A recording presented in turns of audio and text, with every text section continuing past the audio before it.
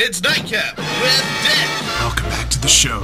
Today we have a man who is very familiar with talking on a couch Sigmund Freud. I'm so glad to be here. Sigmund, you're an expert on the ladies. Any advice? Advice? You? You're the master. Now Fuzz, on the other hand. Great, googly moogly.